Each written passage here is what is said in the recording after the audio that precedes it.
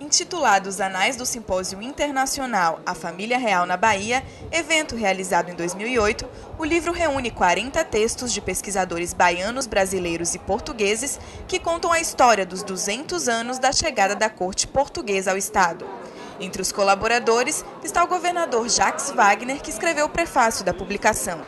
Durante o lançamento, ele foi homenageado com o título de sócio benemérito do Instituto Geográfico. Eu fico muito feliz por ele ter vindo aqui hoje, o governador Jacques Wagner, receber esse título que é concedido a muitas poucas pessoas. É uma honraria, o Instituto Geográfico é uma casa mais do que centenária que cumpre um papel fundamental na preservação da nossa história, do nosso acervo.